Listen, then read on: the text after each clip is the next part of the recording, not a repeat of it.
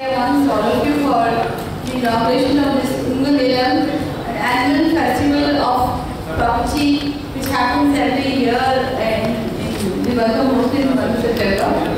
And uh, I always happen to come you. Comes in great honor and.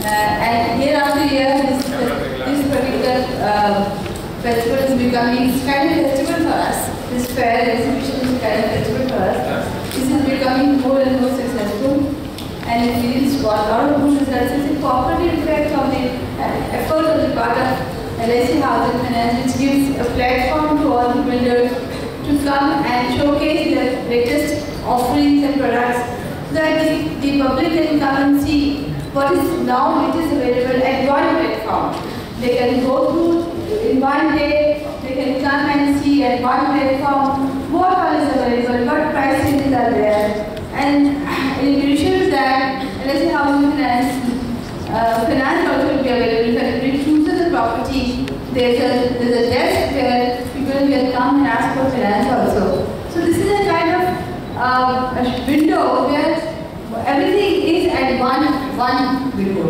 So I think it's, it's really helps the customers to make up their mind with the various kinds of offerings and also seek housing finance wherever they have made a choice about a particular property which they want to buy.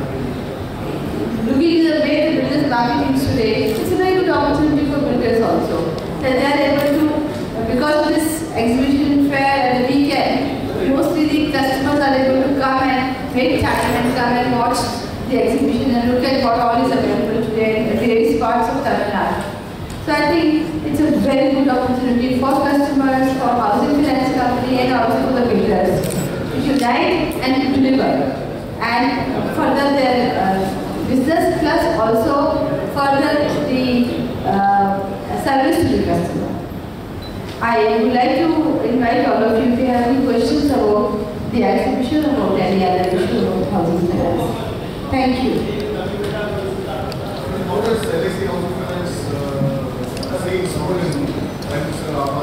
Especially the of uh, this?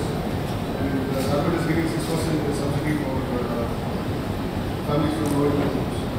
I mean, what, what is the overall contribution towards? Yeah, out of uh, uh, nearly 56, 57 housing finance companies operating today, uh, housing finance, for total the subsidy given in the various units by the government till now, more than 10% is our share. There are 56, 57 housing finance companies operating, but our company only has got more than 10% of share, where we have been able to give hou- housing finance at those in under Prime Minister Awas Yojana to the customers and they have got very good subsidies. It's a very good, it's a very good scheme which, which is direct benefit transfer customer and after the housing finance has been taken to a particular limited, uh, uh, limited kind of housing and that direct benefit transfer is here to the customer which I think is one of its own kind of very beautiful scheme. Poor people or not so poor people, also middle class people, they are able to get very good benefit. Uh, and it is reaching directly, there is no middle man, there is nothing, it doesn't get lost. It directly reaches the customer, that's what the most beautiful part of it. But have you seen more projects coming in the affordable segment? I understand there was an issue that uh, there is there is enough uh, affordable dwelling units coming to support the overall housing units. Do you see that coming? Do you see some movement happening? I, the sec, last one second line, I couldn't really hear it properly.